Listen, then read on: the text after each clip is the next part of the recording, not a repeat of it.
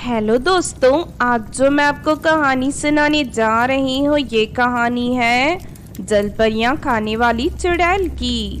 तो चलिए दोस्तों, देखते हैं जलपरियाँ खाने वाली चुड़ैल की कहानी। बहुत समय पहले किसी समुंदर में जलपरियों की खूबसूरत नगरी हुआ करती थी। वहाँ रहने वाली जलपरियाँ एक खुशहाल जीवन जी रही थी। शाम होते ही सभी जलपरियाँ समंदर के किनारे जाकर डांस किया करती थी और साथ ही वहाँ मौजूद पंछियों के साथ खेला करती थी।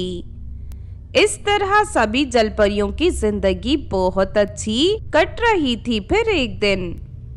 सुनो मेरी प्यारी बेटियों, मुझे अभी अभी पता चला है कि हमारे समंदर के पास वाले जंगल में कहीं से खतरनाक चुड़ैल आई है। इसीलिए तुम दोनों अपना ख्याल रखना और रोज अंधेरा होने से पहले घर आ जाना।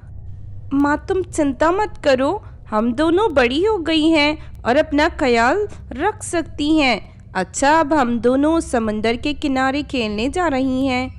फिर दोनों जलपरी बहनें समंदर के किनारे खेलने चली जाती हैं। दूसरी तरफ़ पेड़ के पीछे छुपी चुड़ैल उन दोनों बहनों को देख रही थी। ये जलपरियाँ तो बहुत ही खूबसूरत हैं। इनका मुलायम मुलायम मांस और भी ज़्यादा स्वादिष्ट होगा। मैं अभी इन दोनों को अपने जाल में फंसाती हूँ। उसके बाद चुड़ैल एक सुंदर सी राजकुमारी का रूप धारण कर लेती है और अपनी शक्ति से वहाँ एक घोड़ा गाड़ी प्रकट कर देती है। फिर चुड़ैल घोड़ा गाड़ी में बैठकर समुन्दर के किनारे पहुँच जाती है। अचानक अपने सामने इतनी सुंदर घोड़ा गाड़ी और राजकुमारी को देख दोनों जलपरी बहनों को बड़ा ताज्जुब होता है। तभी राजकुमारी बनी चुड़ैल उन दोनों जलपरी बहनों से कहती है, सुनो, मैं पास के राज्य की राजकुमारी हूँ, मेरी कोई सहेली नहीं है, इसीलिए मैं अकेली यहाँ सैर करने आई हूँ। क्या तुम दोनों मेरी सहेली बनोगी? मैं तुम्हें अपनी महल ले जाकर ढेर सारा स्वादिष्ट खाना खिलाऊँगी और तरह तरह के सुंदर कपड़े भी दूँगी।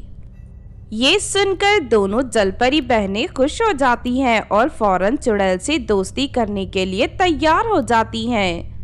उसके बाद चुड़ैल उन दोनों बहनों को अपनी घोड़ा गाड़ी में बैठाकर जंगल की ओर निकल जाती है। थोड़ी देर के बाद चुड़ैल एक बड़ी सी गुफा के सामने घोड़ा गाड़ी रोक देती है। फिर अगले ही पल चुड़ैल अपने असली रूप में आ जाती है। चुड़ैल को देख दोनों बहनों के हाथ पैर कांपने लगते हैं और वो समझ जाते हैं कि उनके साथ धोखा हुआ है। दोनों अपनी जान बचाकर वहाँ से भागने की कोशिश करते हैं, लेकिन चुड़ैल लपक कर उन्हें पकड़ लेती है और अपनी गुफा में ले जाकर दोनों को मार कर खा जाती है।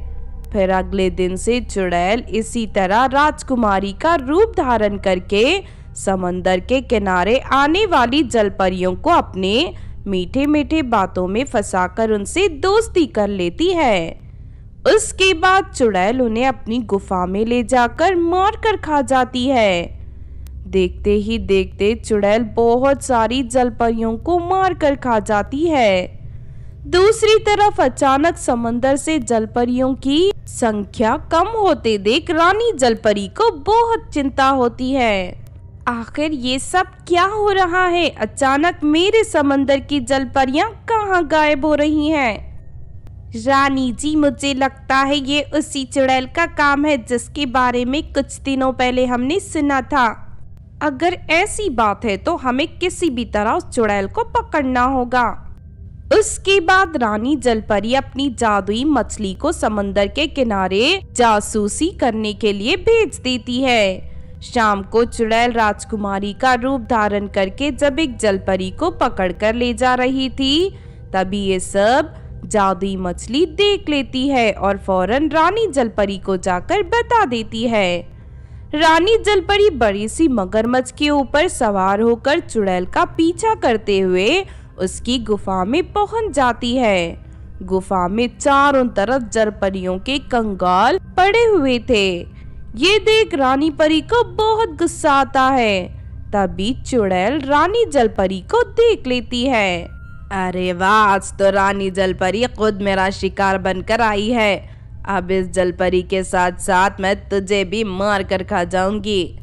लेकिन रानी जलपरी उसी वक्त अपनी जादुई शक्ति से चुड़ैल के गले में एक मोटी रस्सी बाँध देती है और उसे घसीटते हुए बाहर एक पेड़ के पास ले जाती है। नहीं नहीं, रानी जी, मुझे छोड़ दीजिए। मैं दोबारा किसी जलपरी का शिकार नहीं करूँगी और हमेशा के लिए यहाँ से भाग जाऊँगी। खामोश हो जा दुष्ट चुड़ैल, तूने बड़ी बेरहमी से मेरी जलपरियों का शिकार किया है। अब मैं तुझे बचने का कोई मौका नहीं दे सकती। इतना कहकर रानी जलपरी चुड़ैल को पेड़ पर लटकाकर उसे फांसी दे देती है। देखते ही देखते चुड़ैल तड़प तड़प कर मर जाती है। उसके बाद रानी जलपरी उसकी लाश चील कौओं के सामने फेंक देती है। इस तरह उस दुष्ट चुड़ैल का अंत हो जाता है। उसके बाद सभी जल जलपरियाँ फिर से सुकून से अपनी ज़िंदगी जीने लगती हैं। तो आपने देखा दोस्तों जल जलपरियाँ खाने वाली चुड़ैल की कहानी? इस कहानी से हमें ये सीख मिलती है कि हमें कभी भी किसी अजनबी से दोस्ती करने से पहले उसके बारे में सब कुछ जान लेना चाहिए, वरना कोई भी हमें आसानी से बेवकूफ़ बनाकर हमारा फ़ायदा उठाकर हमें धोखा दे सकता है। अगर ये कहानी आपको अच्छी लगी हो तो ज़रूर लाइक करें और हमारे चैनल को सब्सक्राइब भी कर लें। और हाँ दोस्तों, हमें कमेंट करके ज़रूर बताना कि आपको कहानी कैसी लगी।